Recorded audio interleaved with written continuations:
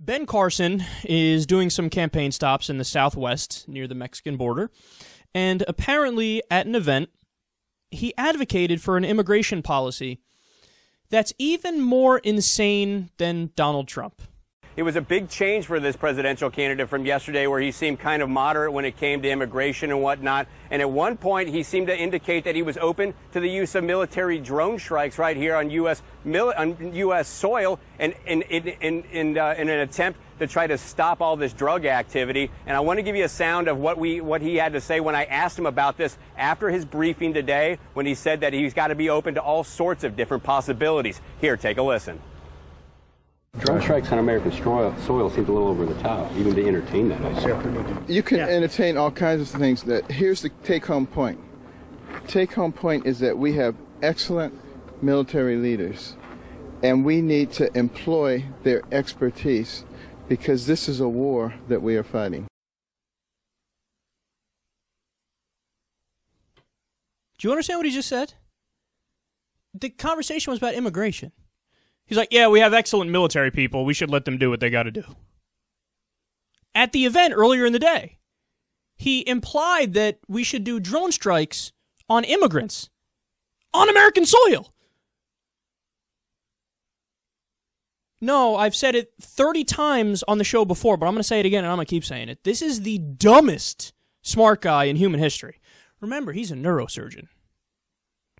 I'm at the point now where I wouldn't even want him to do my neurosurgery if I ever needed it.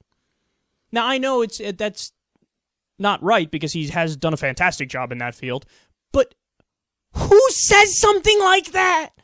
That's insanity. You can't even do that. You're not allowed to do that. You know why we have police officers, for example?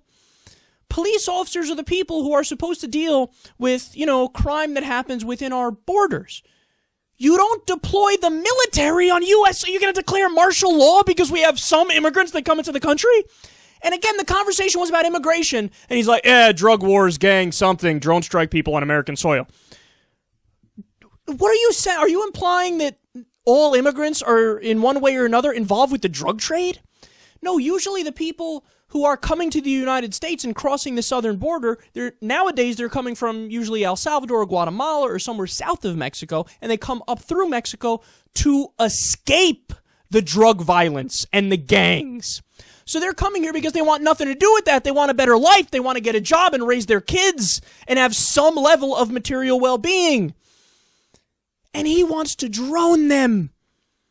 Understand, guys, just how extreme this is. We just covered the story about Donald Trump. Donald Trump's plan was kick out all 11 million undocumented immigrants from America.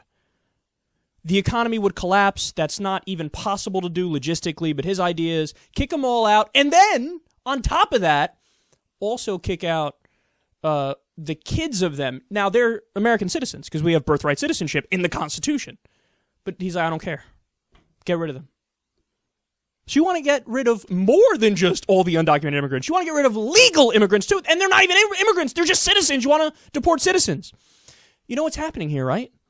These guys, all the other Republicans are looking at the polls, and Donald Trump is beating them by a country fucking mile. So what are they saying?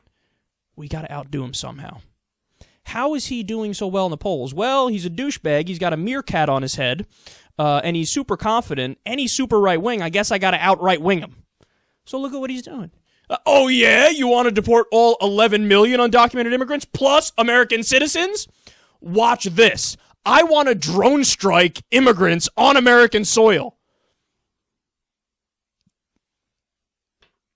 So you want to declare war on America.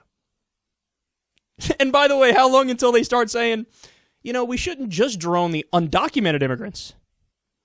Maybe the kids of the undocumented immigrants who are American citizens. So, drone American citizens on American soil. Again, he was asked about immigration, and his response was, We have a great military. We should let them do what they got to do. These people, we need to come up with a new term. It's no you the term fascism, tyranny, dictatorship, authoritarian. That ain't strong enough, son. And it's not even like they have these positions and they want to do it in secret and they're embarrassed about how undemocratic and ridiculous they are. they're, he's bragging about it. Yeah, drone drone people on American soil. That's my immigration plan. Urgh, I'm so strong. Will you guys vote for me yet? Do I need to put a ferret on my head too to copy Donald Trump? Will that make me more popular? I'll do it if you guys say the word.